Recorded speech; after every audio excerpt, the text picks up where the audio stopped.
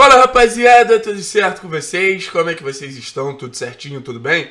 Seguinte, gente, antes de começar o vídeo, vocês já sabem, Evolução Pisos, aqui embaixo, empresa de pisos de Ponta Grossa, mas atende em Curitiba também. Então você que está buscando uma reforma na sua casa, você que trabalha com construção civil, você que está buscando simplesmente um piso aquecido. Gente, vocês moram num frio absurdo.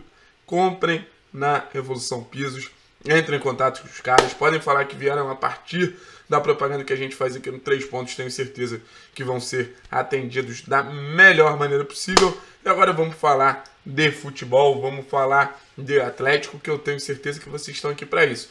Aqui vocês têm dicas de grandes empresas que vão te atender da melhor maneira e também a gente fala de futebol, né? Que é importante também, porque por isso Três Pontos está vivo. E falando um pouquinho desse Atlético, cara, é, é curioso assim perceber como a busca pelo equilíbrio durante uma temporada é algo extremamente difícil, é algo extremamente complicado mesmo. Eu não falo só para o Atlético, acho que todos os clubes têm essa, essa idealização de ter um ataque muito forte, ter uma defesa muito eficiente e a partir daí você conseguir é, disputar todos os títulos e o Atlético está nessa luta. São quatro meses aí de temporada é, três meses de temporada, e a gente vê que o Furacão está buscando ainda um acerto melhor. Tenho certeza que esse acerto vai acontecer mais para a reta final da temporada, afinal, algumas situações ainda estão acontecendo, existe uma chance muito grande de outros jogadores chegarem, é, jogadores que a gente não bota muita fé podem explodir. Por exemplo, nesse momento na temporada passada, o Carlos Eduardo não era considerado nada, o Renato Kaiser nem tinha chegado, é, Fernando Canezinho também era outro sem moral. E foram jogadores que acabaram crescendo junto com a temporada e acabaram terminando como, como titulares da equipe. Então a gente vai ter evolução de muita coisa que vem acontecendo, mas eu acho que o Atlético está num estágio de trabalho que começou na temporada passada e por isso é muito importante a manutenção de uma base no seu elenco, mas também de uma base na comissão técnica, permanência do Antônio, permanência do próprio Alto porque a gente já viu alguns pontos assim que estão pré-prontos. Ainda precisam ser é, desenvolvidos, ainda precisam evoluir, mas estão pré-prontos. E eu vejo um Atlético com, com uma segurança defensiva que, apesar dos últimos jogos, é inegável. A gente precisa entender o que está acontecendo para evitar que esse tipo de situação se perpetue ao longo do campeonato. Beleza, a gente errou, erros vão acontecer, é normal. Nos melhores times e nos piores times. A gente teve erro essa rodada do, do São Paulo, do Flamengo, do Atlético Mineiro, do Atlético Paranaense. Então é natural. Só que isso não pode virar uma rotina. É o que eu falo para vocês. Resultado ruim chama resultado ruim. Então vai ficar um ciclo vicioso que é muito complicado de se, de se, de se liquidar, de se acabar. Ano passado o Atlético entrou nesse ciclo vicioso no primeiro turno e saiu entrando em resultado negativo. Mas mesmo os resultados que não são tão bons, eu falo especificamente dos últimos dois jogos, né?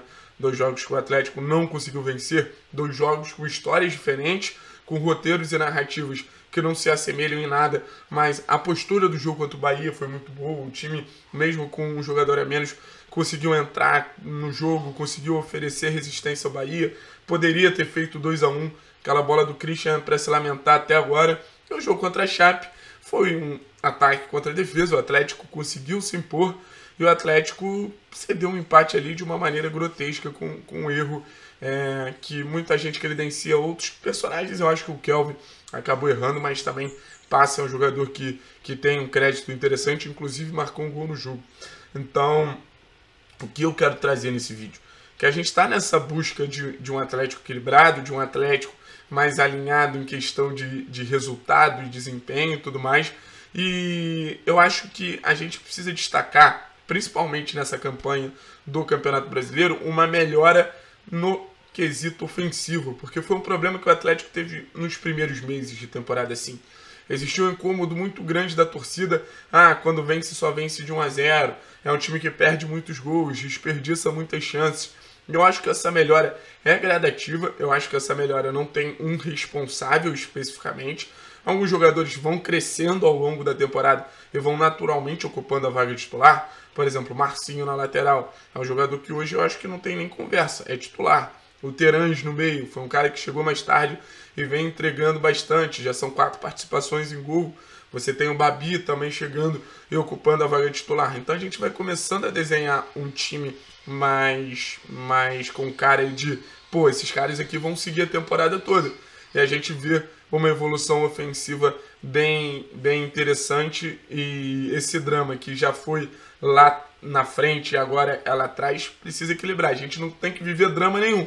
Se ela na frente, tá errado. Se ela atrás, tá errado também. Eu trouxe alguns números do Campeonato Brasileiro para gente realmente entender o que, o que o Atlético vem evoluindo e como o Atlético vem evoluindo, né? Começando lá no jogo contra o América. Contra o América foram 10 finalizações. O Atlético ganhou de 1 a 0 do América, 10 finalizações, 5 finalizações certas nesse processo, e dessas 10 finalizações, 6 chances partiram de jogadas criadas. Eu acho que essa estatística é muito interessante. Você não ter, por exemplo, uma chance de um chute aleatório de longe. Jogada trabalhada, jogada bem criada. Então foram seis chances criadas, que é o Vincadu, Kaiser, Santos e Vitinho foram os responsáveis por essas chances criadas. Aí contra a Juventude, foi 3 a 0 o jogo, mas o mesmo aproveitamento, 50%. Cinco finalizações no gol, cinco finalizações fora do gol. Assistências de Marcinho, Babi e Terãs, os três reforços da temporada, né? Contra o Grêmio, acho que o jogo mais significativo dessa, dessa jornada no Campeonato Brasileiro. Nove finalizações, quatro finalizações certas, 44% de aproveitamento. Assistência acabou sendo do Marcinho e seis chances criadas de maneira coletiva. Babi, Pedro Henrique, Richard Santos e Vitinho foram responsáveis por criar essas chances. Então a gente vê um repertório muito muito legal de chances criadas, né? A gente viu o goleiro participando, o volante participando, o centroavante participando, o ponta participando.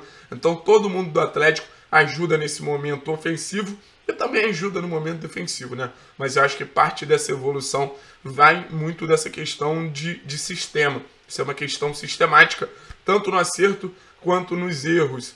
Atlético contra o Atlético Goianiense já havia uma melhora. Contra o Atlético Goianiense já foi o jogo que a gente finalizou mais, né? 11 finalizações, 6 chances criadas também. E no jogo contra a Chape o número aumentou consideravelmente. Foram 16 finalizações, assistências de Pedro Henrique Terãs, 10 chances criadas. Terãs, Kelvin, Christian, Cita, Babi, Pedro Henrique e Vitinho. Então o que, que a gente pode concluir desses números? Assim, o Atlético vem potencializando o seu sistema ofensivo. Se antes a média ali era 10, 9, 11, contra a Chape já foi 16 naturalmente se exige o contexto do jogo para saber quanto você vai criar. Mas se você tiver é, uma capacidade de passar a criar 16, 17, 18 chances por jogo, sua chance de marcar um gol aumenta. Você está frequentando mais o campo de ataque. Você está frequentando mais a região ali perto do gol. E é interessante, a gente tem óbvios protagonistas. A gente tem o Marcinho contribuindo com bastante assistência. A gente tem, naturalmente, o Terãs contribuindo com várias assistências, o Babi fazendo gols importantes. Então a gente naturalmente tem jogadores que ajudam mais do que outros. E é natural a gente ter esse tipo de jogador, esse jogador que contribui mais, esse jogador que está ali mais perto do gol naturalmente. Mas a gente vê Pedro Henrique criando algumas oportunidades, Santos criando algumas oportunidades, os volantes aparecendo bem, tantos volantes que de mais chegada, né? Como é o caso do Christian, como é o caso do, do próprio Léo Cittadini, mas também o Richard em vários momentos sendo elemento surpresa.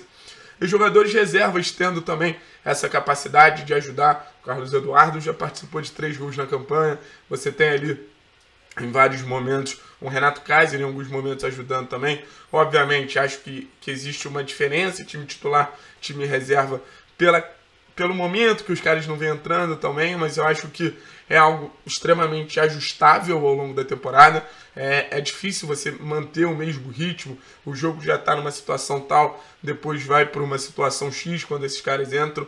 Mas vejo o Atlético por um caminho certo para solucionar essa questão ofensiva, que é um problema que muita gente batia na tecla, incomodava muita gente, até pela veia ofensiva do clube, né? A gente não pode ignorar o fato que existem clubes que têm uma característica muito maior nessa, nessa questão de, cara, beleza, esse time aqui gosta de atacar. E o Furacão tem esse apelido de Furacão por causa dessa veia ofensiva. Então a torcida naturalmente cobra esse tipo de comportamento. Então vejo essa melhora. Naturalmente a melhora tem que vir é, junto com efetividade, né? A produção sem eficiência, sem efetividade, não significa absolutamente nada, mas eu acho que vem acompanhando. Dois gols contra o Atlético Goianiense, dois gols contra a equipe da Chapecoense, três gols contra o Juventude, poderia ter feito mais gols contra o Grêmio, poderia ter feito mais gols contra o Bahia. Então vejo um Atlético caminhando para um lugar de um equilíbrio, uma busca longa, uma busca complicada, por isso que a gente fala que precisa de tempo. Trabalhos a longo prazo acabam sendo melhores sucedidos por causa disso, porque é a luta pelo equilíbrio, mas eu acho que, que precisa destacar essa evolução ofensiva. Eu acho que algo que funcionou muito bem é a questão da melhora da saída de bola no jogo contra a Chapecoense, por exemplo. A gente viu os zagueiros participando mais da construção, participando mais desse momento criativo do jogo e também os volantes com uma característica mais de transição, então que já estão acostumados a levar o time da defesa para ataque. Beleza, rapaziada? Tamo junto, nós, viu?